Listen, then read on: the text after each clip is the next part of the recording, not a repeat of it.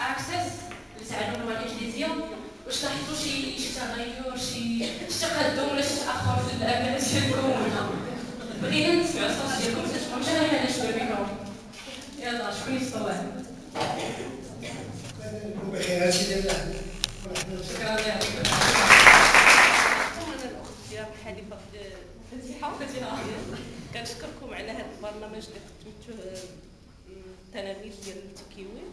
وبالنسبة فتيحه جات في الوقت المناسب باش تخطط ديك الأزمة ديال الوفاة ديال الأخت ديالها. وشكرا على ما قدمتوا ليها وعلى الأنشطة اللي قدمتوا ليها وشكرا على كل شيء. كنشكركم بزاف بزاف بزاف على هذا هذا الشيء اللي كديروا للدراري راه مزيان.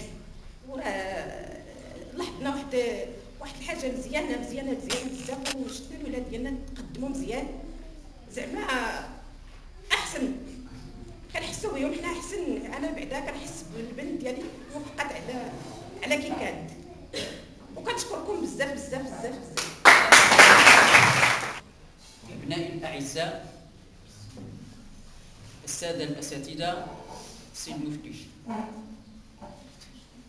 إن تنمية الأمل بإدارتها وخطورها لسعيدة بهذه الشراكة التربوية التكوينية التي حقيقة أعطت إشعاعا تعليميا تكوينيا تربويا لأبنائنا وللمؤسسة. وأشكر جزيل الشكر كل المشرفين على ما نسميه بالأكسيس حقيقة لأن التكوين في مادة الإنجليزية.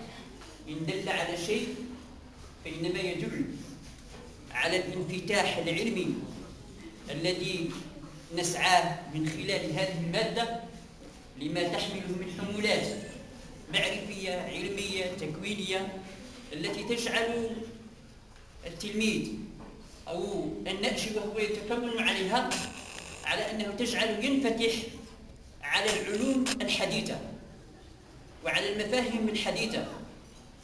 وحقيقة هذا المجال حقق في هذه الناشئة بشهادة مجموعة من الأطور التي سهرت على هذا التكوين.